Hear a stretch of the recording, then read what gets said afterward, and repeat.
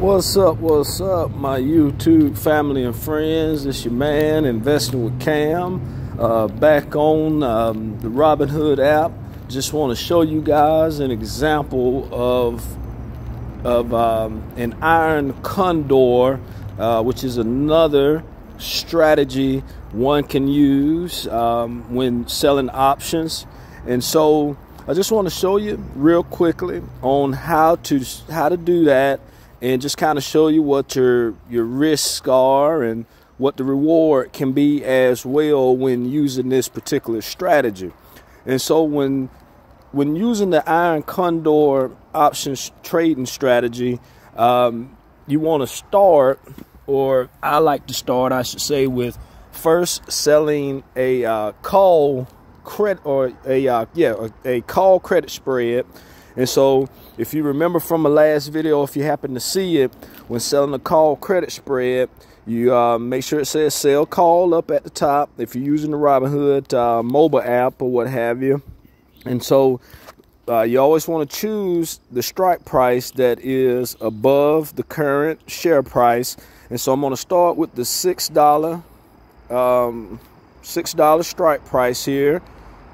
So I'm going to select that. And then you want to turn around and buy a call. And remember, when buying a call um, or doing a call credit spread, you want to choose a strike price that is higher than your your sale call strike price. And also, you want to make sure that that premium is less than the premium on the sale call. So I'm just going to choose the one right above it, which is the $6.50 call there.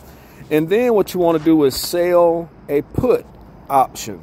And so you want to go down and when selling puts now, and everybody doesn't do this, why I don't know, but you should if you ask me.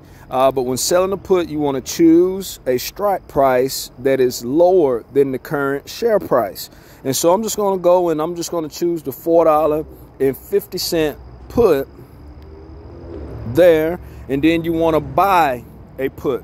And um, just like when selling a call, uh, you well not just like, but when you're doing the um, a put credit spread, you want to choose a strike price that is lower than your sale put when you're buying the put, and also make sure that that premium as well is less than your sale put premium. And so I'm just going to go and choose the four dollar put uh, right below the four dollar and fifty cent um, strike price and so if you see here, it says short iron condor down here at the bottom. And so let me just click on this and just kind of give you an example of how um, the iron condor strategy works, okay?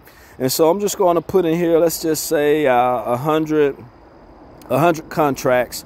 And which if you see here, your minimum credit now is amazing. You know, your minimum credit is $2,400. If you see here, and then if you look, your max loss is $2,600. So, you know, you're you can receive a lot of premium and not have to risk as much money, I should say, when doing or using the iron condor strategy.